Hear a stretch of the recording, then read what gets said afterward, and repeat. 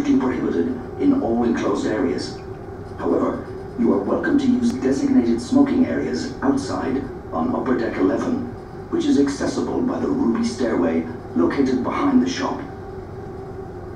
Please ensure you discard cigarettes and their remains responsibly in the bins provided. When outside, be careful as it may be quite windy and outside surfaces may be wet. For your safety and security, access to the vehicle decks is prohibited while the ship is at sea. Passengers are also requested to keep their personal belongings with them at all times. Unattended baggage will be removed.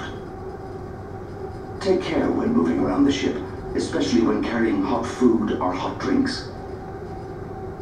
Doors throughout the ship are heavy and for safety fitted with strong closing devices.